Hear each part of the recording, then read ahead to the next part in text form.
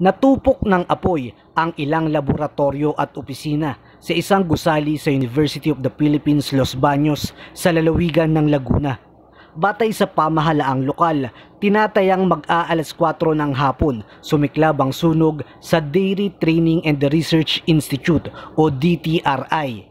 Umakyat sa ikalawang alarma ang sunog pero agad namang naapula dahil sa mabilis na pagresponde ng mga otoridad. Ayon sa Bureau of Fire Protection o BFP Laguna, bandang 4.23 ng hapon sila nagdeklara ng fire out.